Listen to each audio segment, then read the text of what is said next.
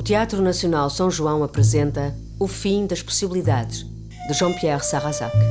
Encenação de Fernando Moura Ramos e Nuno Carinhas. De 13 a 27 de março, no Teatro Nacional São João.